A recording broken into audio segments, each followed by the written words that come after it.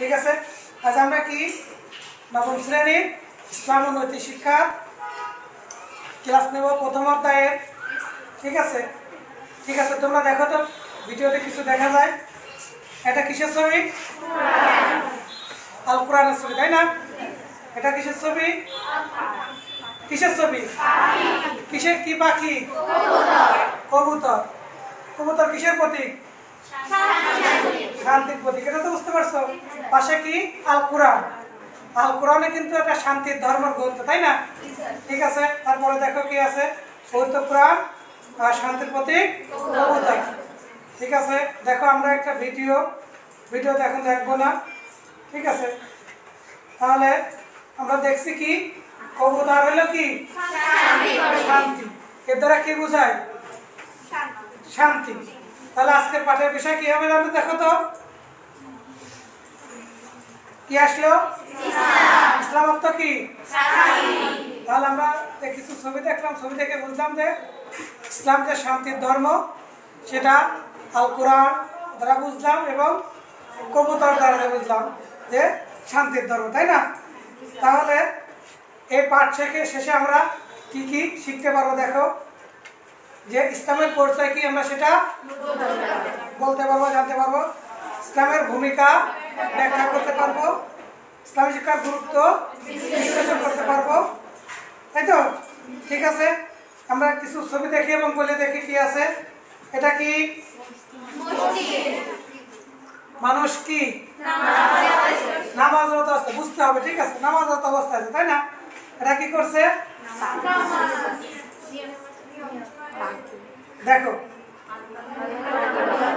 কি বোঝাচ্ছে? আল্লাহর কাছে আত্মসমর্পণ করা আর আনুগত্য ইসলাম অর্থ শান্তি। ঠিক আছে, এখানে আল্লাহর কাছে কি করা?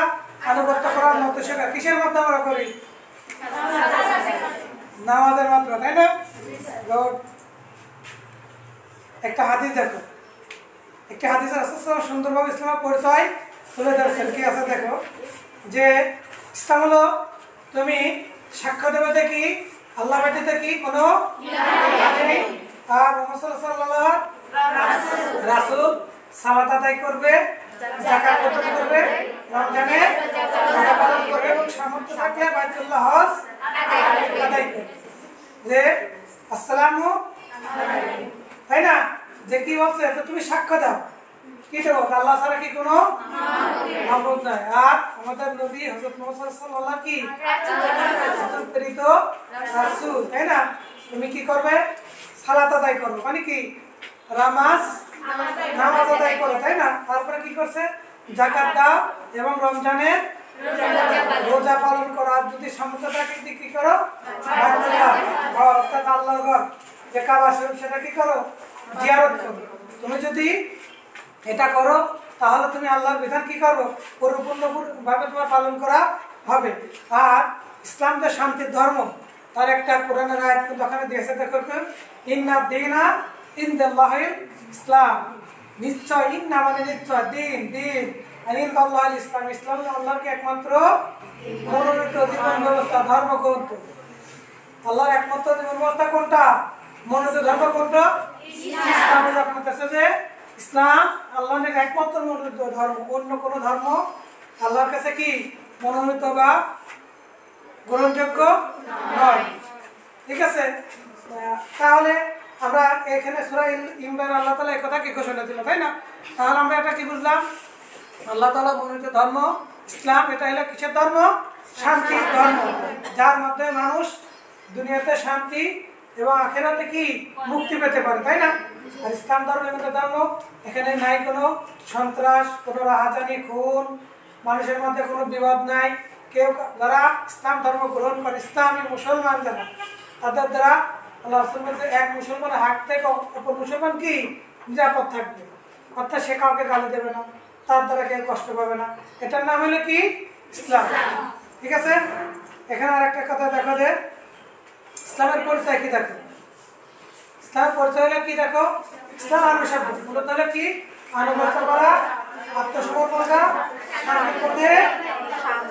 আনুগত্য করা কার আত্মসমর্পণ কার কাছে আত্মসমর্পণ করা? আর শান্তির পথে চলা। এই যে বললাম যে ইসলামের মূল ধর্ম যেখানে কি?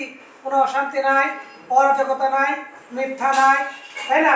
কাউকে গালিগালাজ করা যাবে না কারও উপর অন্যায় অত্যাচার করা যাবে না, ইয়াতে মাল ভক্ষণ করা যাবে না। এটার নাম হলে কি?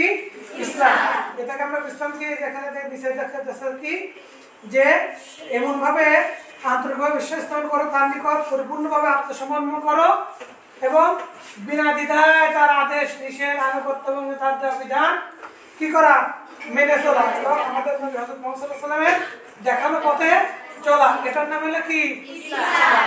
কার দেখানো পথ? রাসূলুল্লাহ আর আনুগত্য করা কার? আল্লাহ। আল্লাহ যে অদ্বিতীয় তিনি যেটা আদেশ করেছেন, সেটা মেনে নেওয়া, সেই অনুযায়ী জীবন গঠন করা। যেটা থেকে কি করছেন? নিষেধ করছেন সেটা থেকে কি করা? তাহলে আমরা এটাই বুঝলাম। এর নাম হলো কি? ইসলাম। ঠিক আছে? ইসলাম নিয়ে আরও কিছু কথা, তারপর তোমাদের কিছু কাজ দেখি। দেখো, ইসলামের ভূমিকা কি? কোন কোন ক্ষেত্রে ইসলাম প্রযোজ্য হয়? দেখো ঠিক আছে মাঝে কি আছে ইসলামের বিদ্যমান, তাই না? ইহকালামকে তাই না? তার উপরে তাদের একদম প্রথমে ব্যক্তিগত জীবন ইসলাম।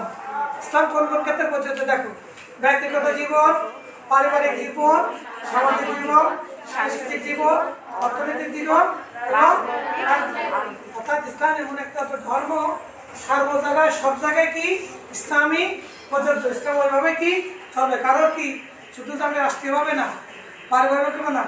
যেখানে যে কাজে করি, সব ক্ষেত্রে কি আছে? ইসলাম যদি ইসলামের মধ্যে, শর- শরীয়ত মতে যদি চলি, তাহলে আমাদের কি? তার কোনো অশান্তি, অরাজকতা থাকতে পারে না। আমাদের যা- যত কাজই করি সবই ইবাদতের মধ্যেই গণ্য। হবে তাই না? তাহলে ইসলাম সম্পর্কে কি আমরা কি বুঝতে পারলাম কিনা ঠিক আছে? একটা কাজ দেখো। ঠিক আছে? হ্যাঁ? ইসলাম শব্দটির কোন মূল ধাতু থেকে নির্গত পারবা কতে? সেল কোন মূল ধাতু থেকে? আচ্ছা দ্বিতীয় প্রশ্ন আছে ইসলাম আল্লাহ নিকট একমাত্র মনোনীত ধর্ম বা জীবন ব্যবস্থা। কাকে ধর্ম? একদম পিছনে। বলো এরা কোন আয়াত? কোন সুরা কোন আয়াত? অ্যানিম্যান কে পারো? সূরা আল ইমরানের 3 নম্বর আয়াত। গুড বসো। আমি কিন্তু দেখাচ্ছি ইসলাম আল্লাহ ইন্না দিনা ইন্দাল্লাহল ইসলাম। ইসলাম আল্লাহ একমাত্র কি? মনোনীত জীবন ব্যবস্থা আল্লাহ একমাত্র কি? মনো- মনোনীত ধর্ম। ঠিক আছে? তাহলে দেখো এখানে দিয়েছে, ঠিক আছে? ইমরান, ঠিক আছে? তাহলে আমরা কি বুঝলাম? ইসলাম, শান্তির ধর্ম আল্লাহ মনোনীত জীবন ব্যবস্থা, এমন একটা জীবন ব্যবস্থা, যার মাধ্যমে মানুষ ইহকালে শান্তি, পরকালীন মুক্তি লাভ করতে পারে। আর ইসলাম ধর্ম নিজের অর্থাৎ ব্যক্তিগত, পারিবারিক, সামাজিক, রাষ্ট্রীয়, সাংস্কৃতিক, অর্থনৈতিক সমস্ত ক্ষেত্রেই ইসলাম ধর্ম কি? বিদ্যমান। ঠিক আছে? আচ্ছা ঠিক আছে। শেষ করিস